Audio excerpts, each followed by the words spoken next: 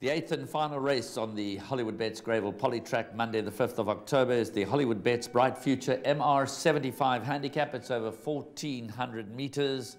And again, it's pretty competitive. It's not cut and dried, not easy to find a banker.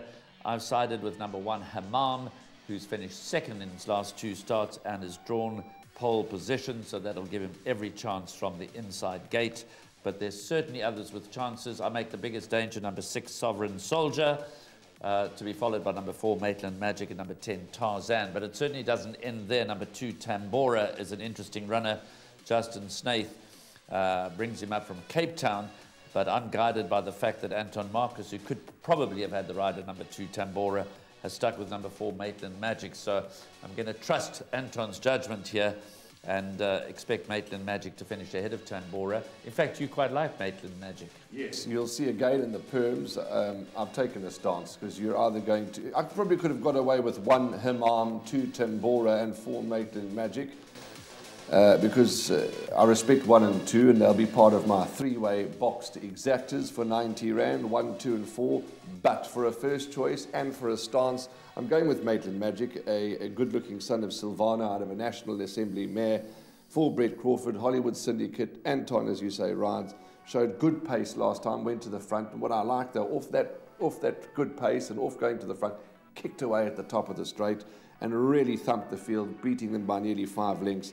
I know it was just a maiden. Uh, I think he could be a little bit above average and could follow up. No, he certainly could follow up. In fact, I overheard Anton uh, saying when he came back to the winner's enclosure that he went too slowly early on. He should have gone a little bit quicker and had them off the bit a little bit earlier. I like Sovereign Soldier, which you haven't mentioned, Warren, uh, because um, you know he's had two second run, uh, two second place finishes in his last three starts. That last run may be a little bit off-putting on paper. Uh, but he was drawn deep and caught very wide. Yes. And uh, he never really had any chance for the way the race uh, panned out. I expect him to put that run behind him and to be more competitive. He's far more at home on the poly Polytrack. And he's a four-time well. winner. And he's, he's a four-time winner. So there are a few with chances. You're in the camp with number of number four, Maitland Magic.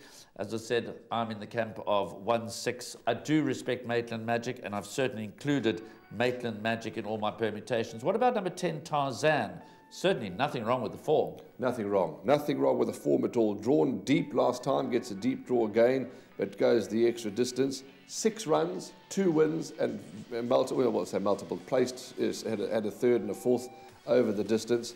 Lazan Forbes, Suzette Fillion, and Chris Fenwick.